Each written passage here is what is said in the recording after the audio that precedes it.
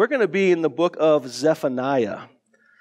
Zephaniah. So turn your Bibles to Zephaniah. If you don't have a Bible, there should be a black one around you. It's going to be uh, on page uh, 790. 790, uh, the book of Zephaniah. If you have a Bible, and it might take you a little while to find it because we don't always open to Zephaniah, it's actually the fourth book. If you go to Matthew and then go backwards, it's the fourth book of the Old Testament from the book of Matthew. All right? I think Cole's, Cole's going to read. Uh, that, so as you guys are turning there and we hear the pages turning, as soon as he hears those pages stop turning, might be a little bit, that's okay. I gave a couple of you guys like a week heads up, so hopefully you found it by now, right? Um, Cole's going to read. We're going to be in chapter 3, and he's going to read verses 9 through 20.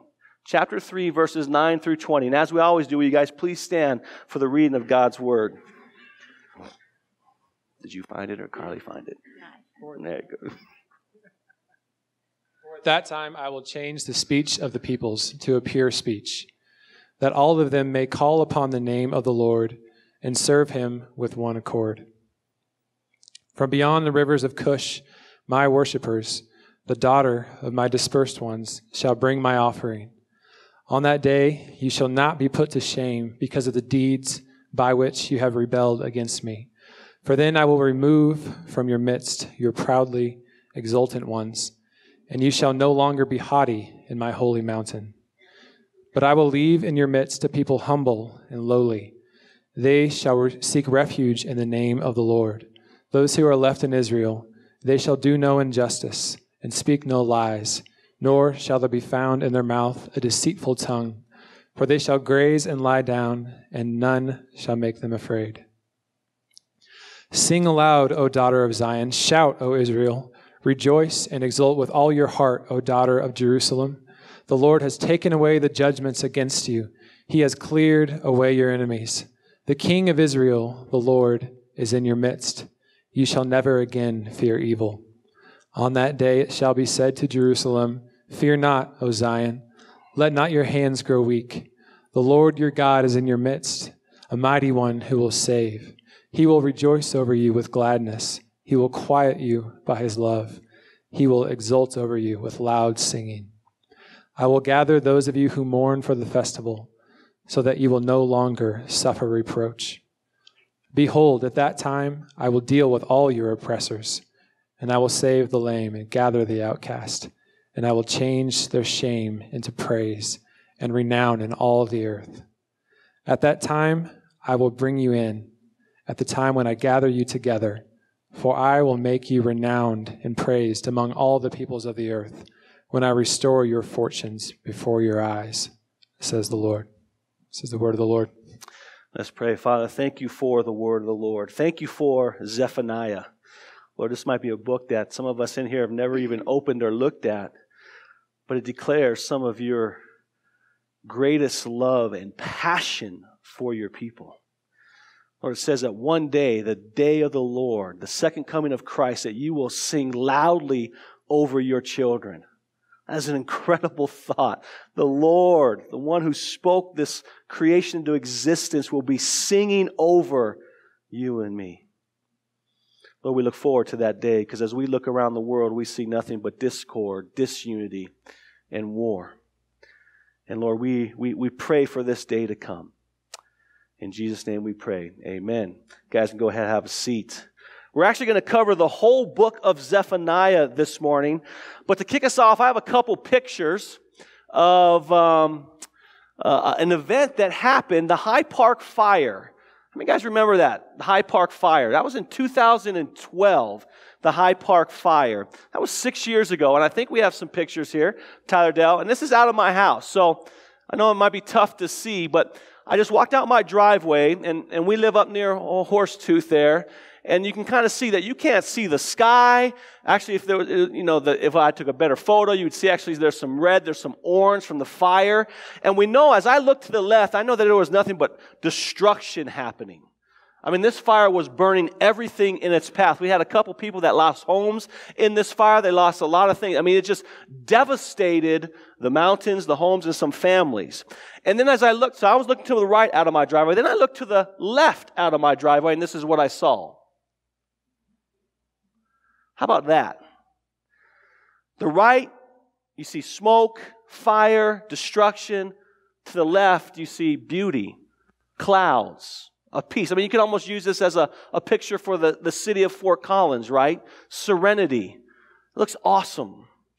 Well, today in the book of Zephaniah, we're going to get a glimpse into what's called the day of the Lord. This is the second coming of Christ. And on this day, this day that uh, Zephaniah is talking about, that's near, that's approaching, there will be two very different judgments that happen at the same time, just like that picture. We'll, we'll, when the day of the Lord comes, we'll look to our right and we'll see the Lord as the holy judge, exercising his justice on those who don't repent and trust in Christ.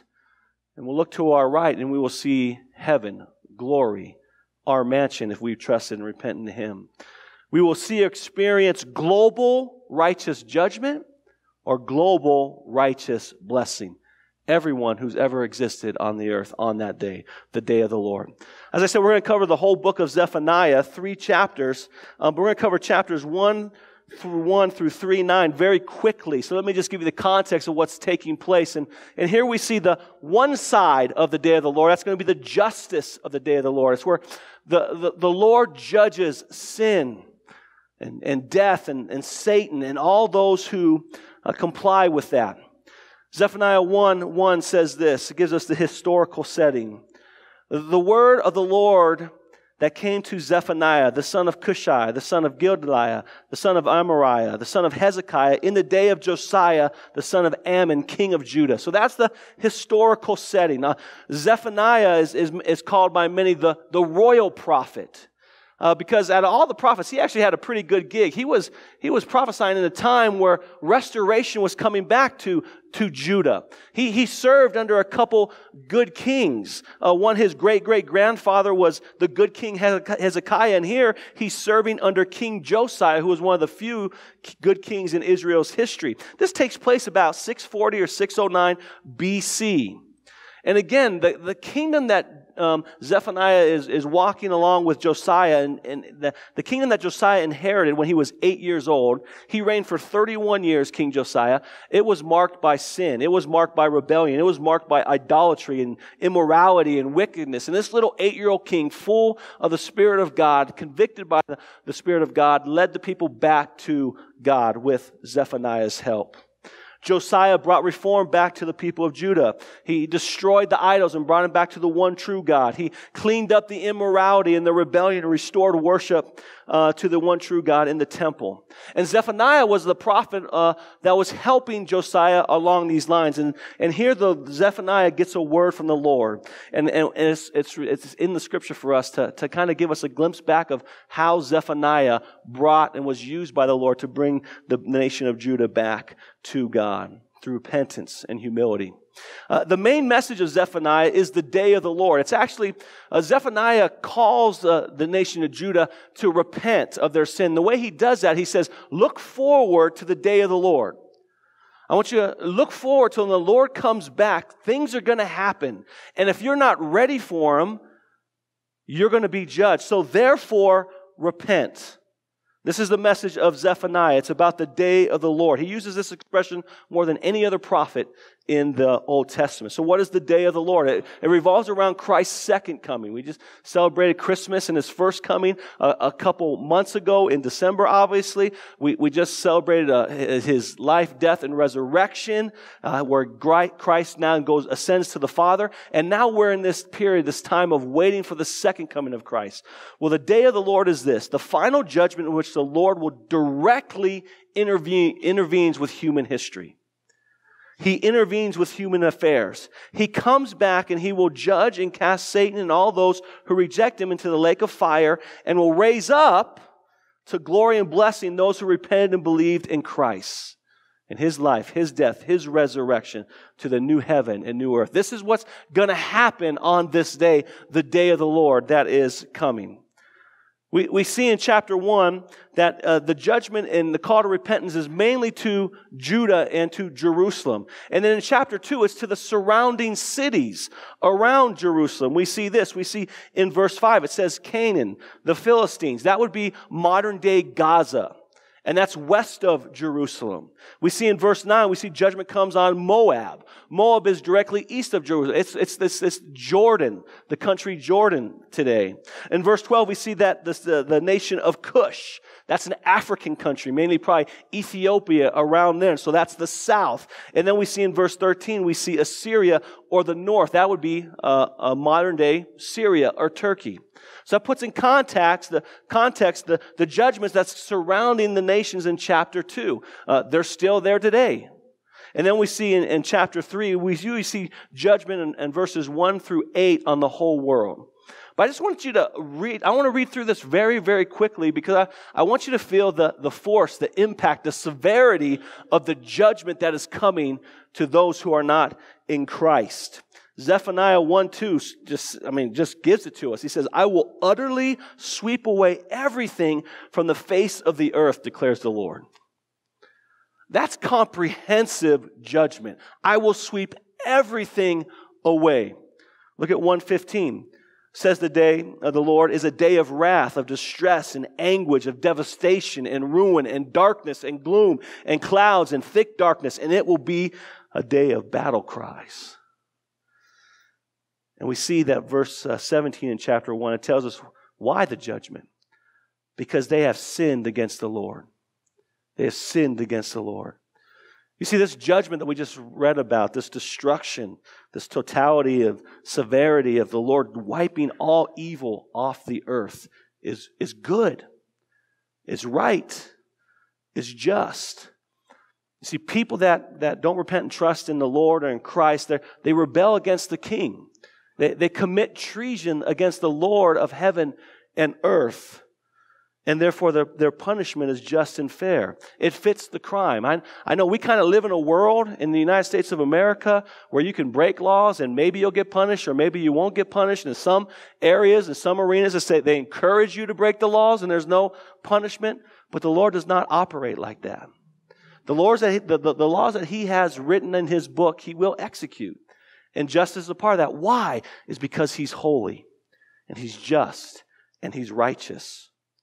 Zephaniah says that this day is near. So he's calling and he's, he, he's proclaiming this to the people of Judah to, to repent of their sin because you do not want to be on the justice side and get that declaration over your life. Zephaniah says here, Paul in Acts chapter 17, verse 31 says this There is a fixed day where he, the Lord, will judge the world in righteousness. There's, a day in the Lord's economy in heaven that's coming. It's not yet. We haven't seen it yet. That's coming. That he will come back as second coming and execute this judgment. Now, when we read this, we know that that's not a good day for some people, right? That's going to be a very, very bad day for some people. Those people that, again, are outside the sheepfold of the Lord that have rejected the Lord, that have rejected the gospel, that have rejected Him calling them to Himself and saying, Hey, I want to be your king, I want to be your God, I want to, I want to be your Savior. And yet they say, I want no part of you. I, I, I want to pause because this is sober. And if you don't know the Lord this morning, uh, our prayer is that you would, you would see your rebellion against the King, that you would see your sin against the Lord, and you would move your heart, you would attune, you would align your heart through repentance and faith in what Christ has done for you. Uh, the Savior, the Lord loves you so much that He did send you an out. He did send you uh, a Savior to live and to die in your place so that you can know the Lord as your Father and not your judge. So I would plead with you this morning to repent as we go through this, to repent of your sins and rejoice in what Christ has done f- with you. So this is the, the bad side of the coin of the day of the Lord for some people. But really, it's a, it's a good side because we see in God's economy that he is, he is righteous, He is just, He is holy. What He says He's going to do, He's going to do. Now let's quickly and spend the rest of our time looking at the other side of the coin, the good news of the day of the wrath. And here we see the Lord's loving kindness, His abundant graciousness towards you and me this morning. And that's where we go to now, uh, Zephaniah 3, starting in verse 9. And we see because of the day of the Lord, we will experience perfect unity and humility worldwide. Because we have the day of the Lord, we will experience perfect unity and humility worldwide. In verse 9 of Zephaniah 3, it says this, For at that time I will change the speech of the peoples to a pure speech, that all of them may call upon the name of the Lord and serve him with one accord. So here is Zephaniah pleading that anyone that calls on the name of the Lord will be saved will experience this unity, this humility that is to come. And what Zephaniah is pointing out is actually something that happened way back in Genesis. In Genesis chapter 11, uh, we had the Tower of Babel. And this is where the Lord intervened in human history in one way and created the different ethnicities and the different languages around. And what we see in Zephaniah 3 9 is we see the reversal of Babel we see that the Lord God is going to reverse what he did in Genesis chapter 11. And just a quick note, we are probably going to go through Genesis in the fall. Starting in the fall, we're going to start at Genesis 1 1 and, and teach through the book of Genesis. So that's pretty cool. So we'll really get into Genesis 11. But this is what you need to know about the, the Tower of Babel in Genesis 11. That humanity, humankind, men and women, in their pride, they say, we want to be like God. And so we're going to bring, we're going to come together and we're going to build this massive tower up to God to show God that, you know, we can, we can get it done without him. And so because of their pride, we see this in Genesis 11, 4, it says this, Then they, the people, said, Come, let us build ourselves a city and a tower with its top in the heavens, and let us make a name for ourselves. So we see that pride is driving them to build this tower. In verse 1, we see in Genesis 11 that, that at that time the whole world had one common language and they all spoke the same language and so they could understand one another. But because of their rebellion and their pride and wanting to be like God, apart from God, God in his judgment confuses their languages and scatters the people all over. They, he, he brought in several different languages so they couldn't understand one another and complete the project. This was their judgment. And when we read in Zephaniah chapter 3, it's on that day, on the day of the Lord, we see the Lord come back and he reverses Babel we see that diverse speech and all those different languages become one language. We see the division of the nations, nations all of a sudden become one unified nation worldwide. We see them now, instead of going and worshiping all these distinct and other gods that they've created in their minds, that they come back confessing and worshiping the one Lord. Look at Zephaniah 3 9 again. For at this time I will change the speech of the peoples to a pure speech that all of them may call upon the name of the Lord and serve him with one accord. This is good news. In fact, what we're about to read is the gospel in the Old Testament.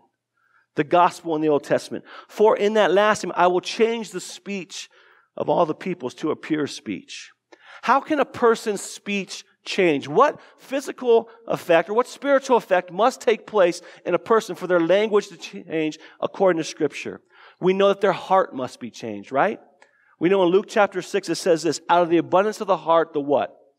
The mouth speaks. So, what we see here in Zephaniah is he's talking about a, a change of heart. The reason why the people of this day, the day of the Lord, are going to be speaking one in unity with one another in a pure speech is because their hearts have been changed. They've been regenerated. Because your heart has changed, your speech changes. And what does it change to? We see this in verse 9b. It changes to repentance and faith. Look at 9b. So that they may call upon the name of the Lord and serve him with one accord.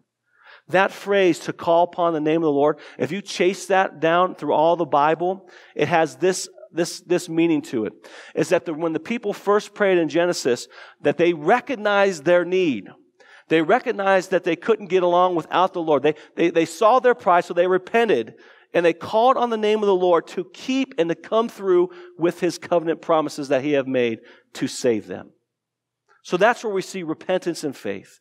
They see their desperate need for the Lord to keep his covenant and save them. Therefore, they repent and they call on his name. This is the gospel in the Old Testament. We see the regeneration of the heart. We see faith and repentance. This is what's going to happen on the day of the Lord worldwide. We're going to have this global uh, kingdom people come together. And what are we going to experience? What are those people that repented when they heard Zephaniah preach back then? What are they going to experience? The same thing that we're going to experience. And let me just point out two things we're going to experience on the day of the Lord. First, we're going to experience perfect unity worldwide. This is kind of under 1A. We will serve him with one accord. That's unity, one accord. It literally means shoulder to shoulder. We will, we will serve him shoulder to shoulder. Immediately my mind goes to, you know, warm, Roman warfare and the soldiers that come alongside and they're all standing in one line with their shields, shoulder to shoulder, just taking over the world. Well, that's what we're going to be doing. Taking over the world in unity, shoulder to shoulder. We get a little taste of this in Acts chapter 2. We get a little taste of this in Acts chapter 2 at Pentecost, where the Holy Spirit comes upon the people, right? And you have all these nations together in Jerusalem, and all of a sudden the Holy Spirit comes, and they're talking all these different languages, and yet what happens? They can all understand one another. There's unity there. How is it that we all hear and understand one another in our own native tongue, the scripture says? Because the Spirit is giving us a little taste of the day of the Lord. He's giving us a little taste. We're getting a little taste of that this morning actually. We're getting a little taste of the day of the Lord where all the nations will come together under one language and we'll be worshiping the Lord. There'll be unity here because of the gospel. We here at the crossing have, I think, almost every continent represented in, in our ethnicities, right? Um, all of us, as we look throughout here, we have people from Europe and Asia and Africa, um, obviously United States, South America. I don't know if we have anyone from Antarctica here, right? I don't know. Um, and maybe Australia, maybe Australia, I don't know. But we're all here getting a little taste of what the day of the Lord. The only thing that can bring every single person in here is we are under the unity of the Lord and His message and His gospel. And then finally, we'll experience this unity on that day perfectly. The salvation of the world. Notice in verse 10 it says, From beyond the rivers of Cush, again, beyond the rivers of Africa will be my worshipers. That's just, that's talking about Gentiles there. Not salvation for the Jews, but it's also for the Gentiles. And in Revelation 7 9, it says this, that great scene that will happen. Great multitudes from every tribe, every tongue, every nation proclaim with unity Salvation belongs to our God who sits on the throne and to the Lamb. What a day that is going to be. What a day is that going to be? I mean, think about it. We just launched, I don't know how many missiles against Syria, right? Uh, we did that uh, about a year ago. This time, we've been in this war for 20 plus years, I think. You know, that, that I mean, it, it's a massive war. How, how great is it one day to turn on your TV and be perfect peace. No wars going on. This is crazy. I did a little research on this. There's almost 195 countries in the world, 195 countries, give or take, right? Do you know how many of them are not at war at, of some kind right now? Can you get, take a guess? 11. 11. According to a news article, and that was in 2014. So that means there's 184 countries at war with one another right now that there's no peace, that there's no unity. So if you want to take a step back and says, hey, what describes the world? Disunity, war. Can you imagine that one day, the day of the Lord, when it comes back and there's no war, there's no injustice, there'll be no fear, there'll be no one hiding in bunkers because missiles are being launched at them. There'll be no death, there will be no stench of death in some of these cities. There'll be perfect unity around the world. And the reason perfect unity around the world is because it will be the day of the Lord. 1b. Secondly, we see the day of the Lord brings perfect humility worldwide. On that day, verse 11, it says, On that day you shall not be put to shame because of your deeds done by which you have rebelled against me. For then I will remove from your midst proudly exalted ones, and you shall no longer be haughty on my holy mountain. Verse 12, But I will leave in your midst a people humble and lowly, and they shall seek refuge in the name of the Lord and no longer be prideful or haughty. I don't know about you, but I'm longing for that day when you don't have to deal with any arrogant, prideful people, right? Who's going to be happy when that day comes? I don't know I am, right? Now, I know I'm, I can be this prideful, haughty, arrogant guy. And the Lord has to do some work on me. And this is what Zephaniah in 2 2 says. He pleads with the people to seek the Lord, to humble your hearts and repent and trust the Lord. And what will happen? The Lord will forgive. You see, C.J. Mahaney pointed this out in his book, Humility. In 2 Chronicles 16 9, it says this Now the Lord's eyes go to and fro all over the world looking for himself to give strong support to those that are blameless. And then Isaiah, he points out, says this This is the one who I will look to, the Lord says. This is the one that I'm going to look to that has these characteristics in their lives The first thing, the one who is humble, the one who is contrite or has compassion, and the one who fears my word. This is the one, this is the person, male or female, that the Lord is going to bring and give his support to, the one who is humble. Peter and James both put their stamp of approval on this when they say, God opposes the proud but gives grace to the humble. See, what Zephaniah is saying, what he's, what he's calling us to this morning is he's calling us to, to humble ourselves under the hand of a gracious and loving God because you don't want the Lord to humble you. See, humble yourself now so you will not be humiliated later. That's what Zephaniah is calling us to. He's calling us to be humble. Repentance always involves humility. It's, it's, it's, it's understanding first and foremost that as people, we rebel against the Lord. And we need to humble ourselves to say, hey, I can't do it on my own. That I need a Savior. I need to repent of my sins. I see my faults and I turn to what He has provided for us in Christ. That's what humility does to us vertically with the Lord. It causes us to get on our, knees and say, You are God, I am not. And then the second thing, not just for salvation, but also for all of life. All of life, humility should dictate our hearts because everything that you and I have in this life is a gift from God. Is a gift from God. Right? We've been talking about this for over the last year that every good thing that we have in our life is a gift from God. If you have a good marriage, that's a gift from God. If you have a great job and you're smart and you're intellectual, that's a gift from God. If you're a great leader, that's a gift from God. If you're a great athlete, that's a gift from God. If you're healthy, that's a gift from God. And you're like, well, wait a second. I work hard for some of that stuff, right? I mean, I, I, I, wake up at so and so, I get my nose to the grind, I grind. Yes, that's good. God has given you that ability to do that, but He's done that so that you can praise His name. Because I can point out a lot of money, uh, more people in your life that are working harder than you, that are working smarter than you, but don't have what you have. Right? That's God being gracious to us and giving us good gifts. And that's when we recognize and we humble ourselves like, Lord, yeah, thank you for all the good things that I've had. I recognize I have a part to play and I'm, I'm, i need to strive and work hard and go after it. But I also recognize that it's from your good hand that I have all these good gifts. And that keeps us in a state of humility. We recognize that God is leading, directing, and blessing us. And He's given us that ability. That will keep us humble. I love how C.S. Lewis said this about humility. He said this Humility is not thinking less of yourself, it's thinking of yourself less. Isn't that good? I think that sums it up.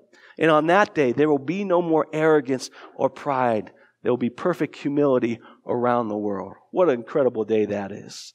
So, secondly, Zephaniah 3 14 through 17 says this Because of the day of the Lord, we will rejoice through song, everyone. This is just awesome, these next couple verses. Verse 14 Sing aloud, O daughters of Zion. Shout, O Israel. Rejoice and exult with your heart, O daughters of Jerusalem. Got a question for you. What is the best concert you ever went to? Think about that. How many of you guys have gone to a concert in here before? Right? All right? The best concert that I ever went to was Ready for the World in like 1986, all right? Ready for the World in my day, for you guys don't know, was kind of like Earth, Wind, and Fire back in that day. This soulful group of these guys, there are about six to seven of them. They all played an instrument, and it was just awesome. It was just, it just, the music moved your soul. I was like, on, I was like, this is awesome. Now, for some of you, it might have been like a Billy Joel concert, right? Or maybe even a Billy Idol concert, right? I don't know. Who's a Billy in country music? I don't know any country music. Billy who? Billy, huh? Exactly. That guy, right? You know? Now, and some of you might say, hey, this is like Van Halen. Yeah. Ozzy Osbourne? Ah, maybe not so much on that one, right? No, but the point is, it, it might have been for you. Why? Because God is, that's just God's generous gift to all people. He's given us abilities. And, and one of the gifts He's given to mankind has been music and to make music, whether it's secular or sacred. It's, it's all a gift from God. Well, whatever that best concert was for you, this day is going to be like a concert unlike any of that. Times a gazillion, times infinity. And guess what? You're going to be a part of it. You're actually going to have a part to play in it. It says, You will sing aloud, you will shout, you will rejoice. That is an incredible thing.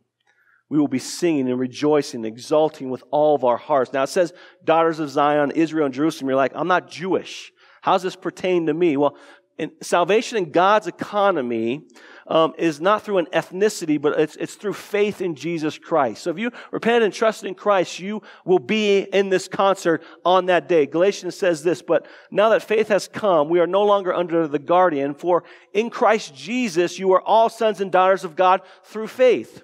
For as many of you were baptized in Christ Jesus and have put on Christ, there is neither Jew nor Greek, there is neither slave nor free, there's neither male nor female, for you are all one in Christ Jesus. And if you are Christ, then you are Abraham's offspring. Abraham was known as the father of the Jewish people. And he says, hey, if you and I, as Gentiles, believe in Christ and what he has done for us, we are, we are of our father Abraham, heirs according to the promise. So we will be there on this day singing and rejoicing and shouting in worship to the Lord. With every person from every tribe and every tongue who's repented and trusted in Christ on this day. This is going to be an incredible concert.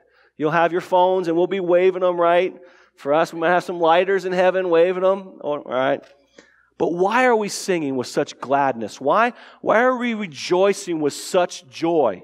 Well, he tells us in verse 15 the Lord has taken away the judgments against you. He has cleared away your enemies. The King of Israel, the Lord, is in your midst, and you shall never fear evil again. Are you kidding me? Think about that. That's why we're singing.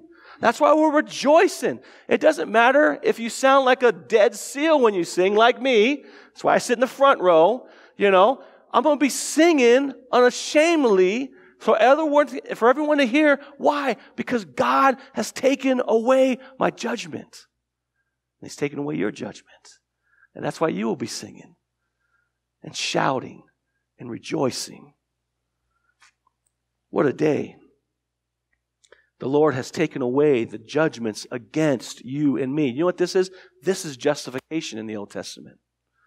This is God declaring you and me to be righteous, to be holy, to be not guilty. We, we know that theologically now. And we even experience some of that freedom now, but we will experience in its fullness on that day personally. And that's going to cause an incredible amount of joy and gladness and praise. On that day, for, argue, for, for illustration's sake, it might look something like this.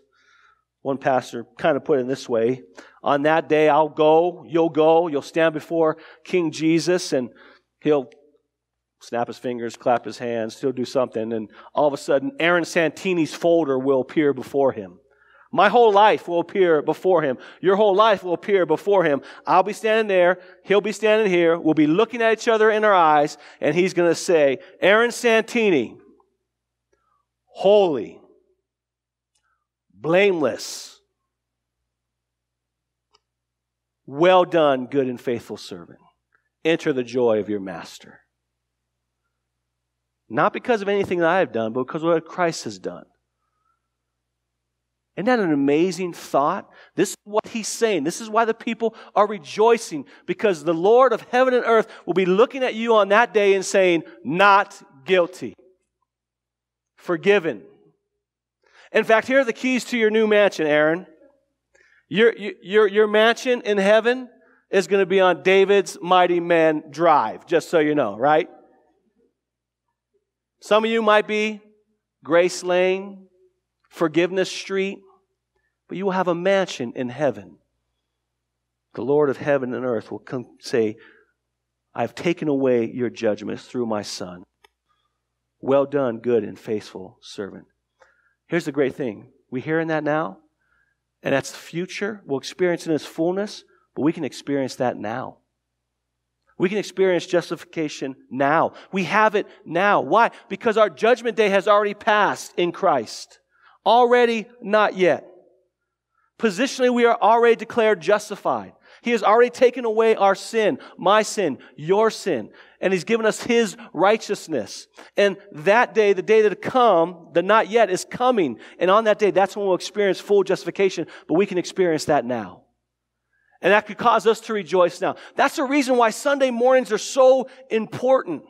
That we come here and we have gifted musicians like Cole and the rest that lead us in the worship to God because it's a foretaste of what we're going to uh, experience on that day of the Lord.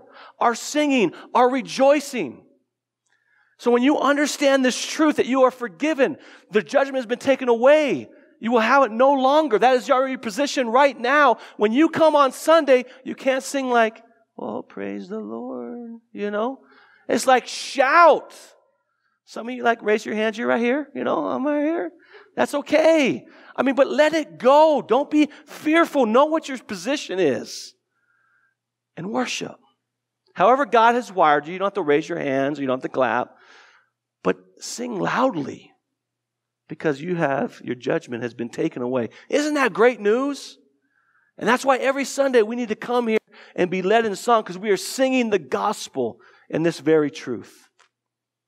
We scream and shout at weddings and at babies being born, at graduation, and at Super Bowl wins and Stanley Cup wins, and rightly so. We should. That brings us joy. We should rejoice. We should stand up and clap. We should shout. But nothing will compare to the absolute rush of joy and happiness that we'll experience in that day, knowing the judgment against you and me has been paid in full. Amen? And not only that, our justification fully realized, but also we rejoice because we will finally be with Jesus personally, physically. We will see him. He will see us. We can touch him just like Thomas did. We can walk with him. We can talk with him. Because I don't know about you, I, I can't wait for that day because sometimes it's hard following Jesus, having a relationship with Jesus when I can't see him. Anyone else with me?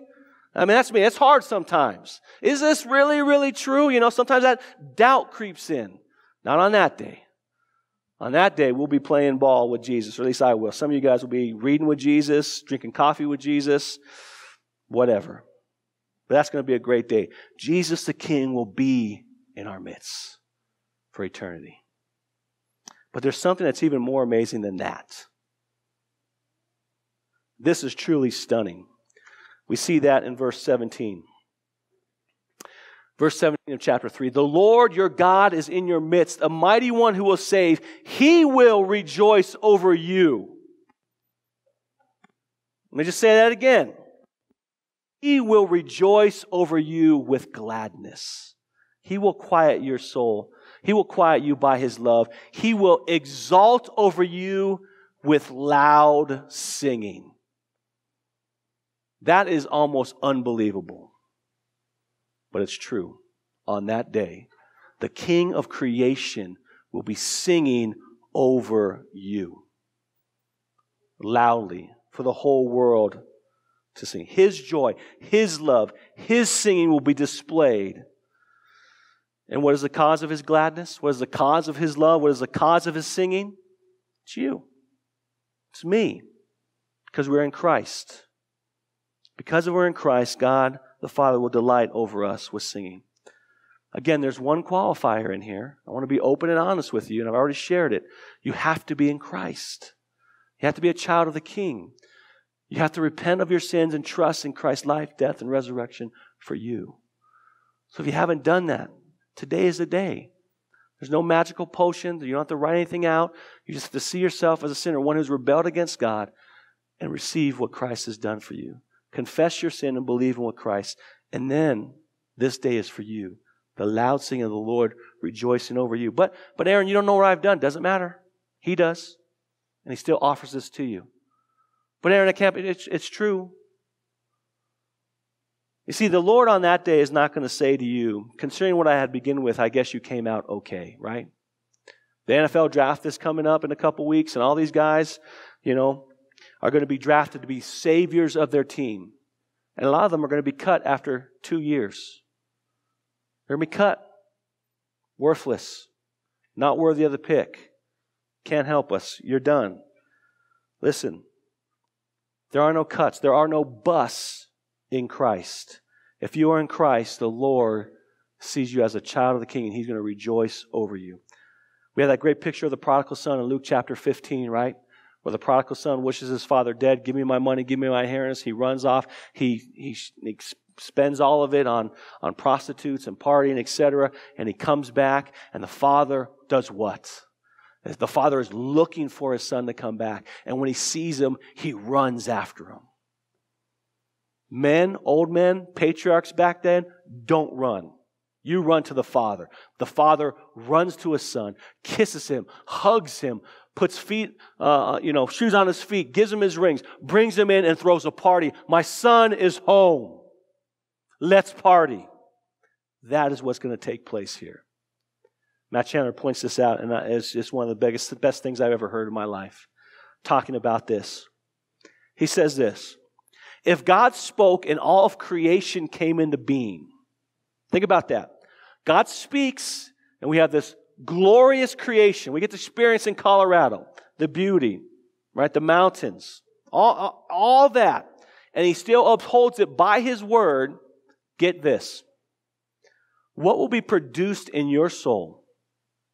What will be produced in my soul when the Lord is singing over us? Isn't that awesome? He speaks and we get creation. What happens when the Lord sings over us? What does that create? Well, it's going to create something that the world has never seen, literally. And yet we are going to be able to experience that forever. That's awesome. This is what's happening on the day of the Lord. And then quickly, what might happen, it, leads us to point three. Because of the day of the Lord, we will be regathered of the, be the regathering of the renowned. Verse 18 says this I will gather those of you who mourn for the festival, so that you will no longer suffer reproach. Behold, at that time I will deal with your oppressors, and I will save the lame, and gather the outcasts, and I will change their shame into praise and their renown in all the earth. And at that time I will bring you in, and at that time I will gather you together, for I will make you renowned and praised among the peoples of the earth, and I will restore your fortune before your eyes, says the Lord. I don't know what it's going to be like when the Lord sings over us. It's going to be awesome, but it might look something like this. And verses 18, 19 kind of gives us the summary of what might take place. One, suffering will be gone. All kinds of suffering. Physical suffering, emotional suffering, spiritual suffering, all will be gone. Your oppression, will be turned to freedom. If some of you in here have a, um, you know, a, a disorder or, or, or handicapped or a disease, it'll be healed. If you feel like an outcast here on earth, you'll be included. Your shame will be turned into praise, and everything will be restored before your eyes. This is the day of the Lord. This is the day that we look forward to. This is the day that you and I will experience fully if we're in Christ. So the question is this morning are you ready for that day? Are you ready for that day? When you see and read all the disunity, the hatred, the sin in the world, social media, TV, workplace, shut off the TV close your computer, go home, open up the book of Zephaniah, a book that was written thousands of years ago, and read about the day of the Lord that's coming to you. Let that just be a, a balm to your soul. And then go out and share the good news of Jesus in your circles of influence. Let's pray.